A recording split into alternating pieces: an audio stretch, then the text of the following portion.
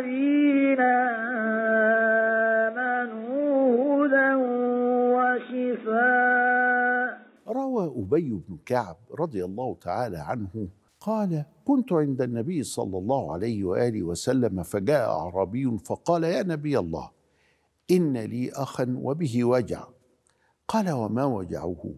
قال به لمم قال فأتني به فأتاه به فوضعه بين يديه فعوده النبي صلى الله عليه وسلم بفاتحة الكتاب وأربع آيات من آخر سورة البقرة وآية الكرسي وآية من آل عمران شهد الله أنه لا إله إلا هو.